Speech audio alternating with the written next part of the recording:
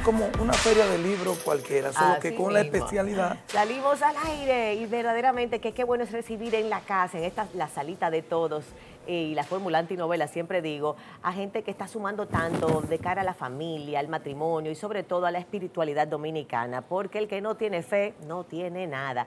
Y por eso los movimientos Cursillo, el movimiento Cursillos de Cristiandad, aquí quien, que preside el arquitecto César Curiel, muy reconocido, muy querido en todo nuestro país y también quien forma parte de Luis Bautista, eh, la verdad como también uno de los, sus dirigentes, pues la verdad que es un cursillo, es un movimiento que ha, ha impactado ha impactado. Y ustedes vienen trayendo una trayectoria de verdad, de compromiso, porque fíjense que estamos hablando de 30 años de la Feria del Libro Católico, que es justamente lo que venimos, lo que vienen ustedes a anunciar. Cuéntanos eso. Bueno, eh, muy contento de estar en esta salita, ¿verdad? Eh, para hablar de este evento que ya se ha convertido en algo muy tradicional de toda la sociedad dominicana y que lo espera cada año. La trigésima Feria del Libro Católico. Es decir, que va a estar celebrándose desde el 16, 16, 16, al 24, al 24 de, marzo. Déjame aprovecharlo, César, ya que tú lo estás diciendo, para que me hagan un amplio aquí, porque miren qué lindo el, el, el ay Dios mío, póster que han trabajado. al 24 de marzo. El afiche, sí. En la Casa San Pablo. Eh, ay, qué lindo. Una actividad que está abierta a todo el público en general.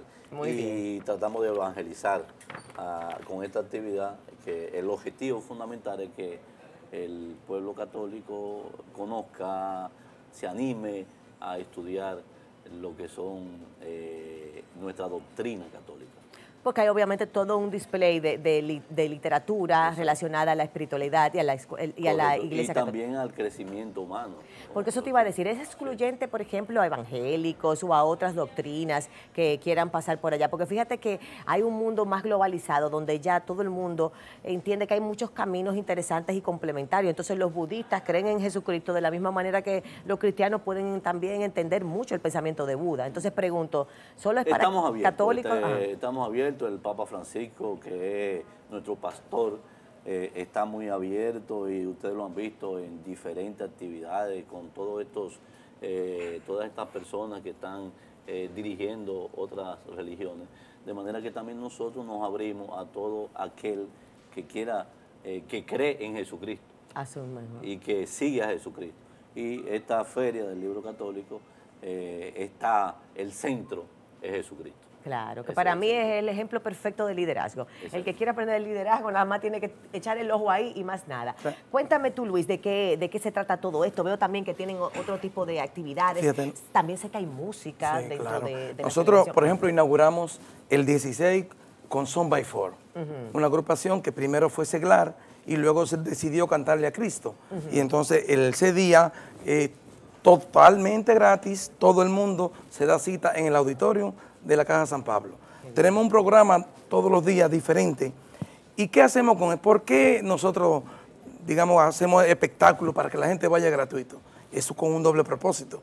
El propósito es que además tenemos 44 expositores con libros y accesorios de la, de la fe católica para que lo puedan comprar. Y entonces al comprarlo se nutren, porque nosotros somos un movimiento de evangelización.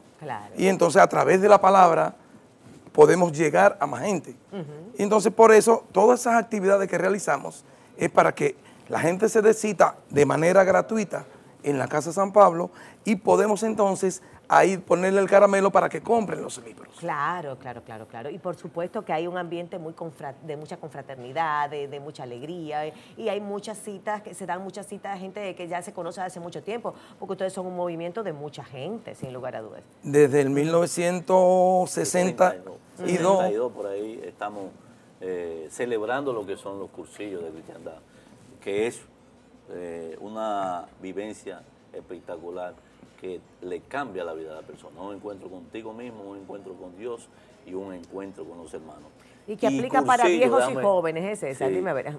Te quiero decir que eso fue lo que me cambió mi vida. Tú que me comentaba al inicio sobre, sobre mi trayectoria.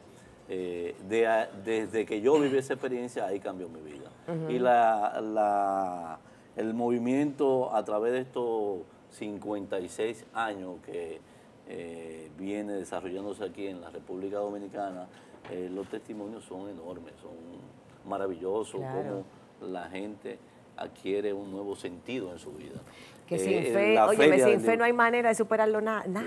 sin, o sea, de verdad no hay manera de superar nada sin agarrarse de verdad de una fe, de ah. la fe de, en Dios. Así es, así. Y decía Luis de las actividades, y también vamos a estar, eh, vamos a traer eh, nuevamente a los predicadores eh, Salvador Gómez y Saulo Hidalgo, que generalmente participan en la feria, pero este año también traemos a Carlos Cautemo Sánchez, un escritor reconocido mundialmente. También traemos al, al padre Santiago Martín, que fue el que escribió el Evangelio Secreto de la Virgen. Van a estar allá todos. Van a estar todos. Y, van a dar sus conferencias. en, cada, cada, día uno de ellos va a estar, y también va a estar Fernando Casanova. Eh, de manera que hay un amplio, eh, una amplia actividad que vamos a tener durante toda eh, la Feria del Libro. La gente que quiere adquirir libros, ¿de qué manera puede adquirirlos? ¿Solamente a nivel físico o hay libros también en Internet? Porque ahora hay muchos audiolibros, hay también muchos libros eh, digitales. Eh, Correcto, la, se pueden comprar libros de diferentes maneras, pero en esta ocasión nosotros hemos logrado, ya por varios años, de que las principales librerías estén exhibiendo sus libros a mejores precios durante los ocho días de la feria. Es decir, que tú desde el sábado que va, sale del auditorio, pasa por donde están los stands y el libro que tú quieras lo compras. Y si no, lo puedes ordenar.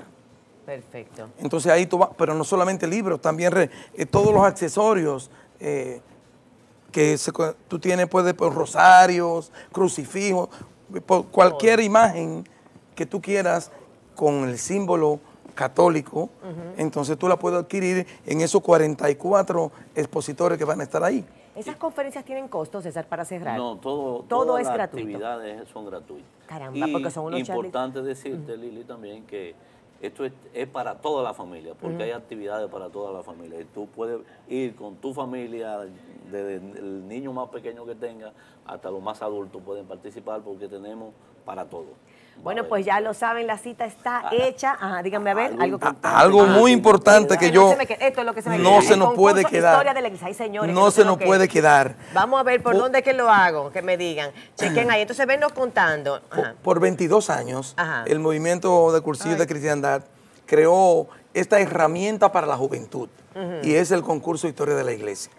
Con un tema cada año diferente, este año Juventud, Fuerza Renovadora de la Iglesia y espera, fuerza renovadora de la iglesia y esperanza del mundo.